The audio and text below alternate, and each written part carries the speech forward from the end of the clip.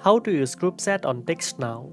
First of all, open the app on your device and log in with your account.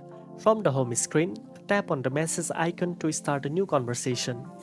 In the to field at the top, type in the phone numbers or select multiple contacts from your list that you want to include in the group chat. You can add as many people as you like, making it easy to stay connected with friends, family, or coworkers all at once. After selecting the contacts, type your first message in the text box at the bottom and tap the send button. Once the message is sent, a group chat is automatically created. Every reply from the participants will appear in the same conversation thread so everyone can see and respond in real time.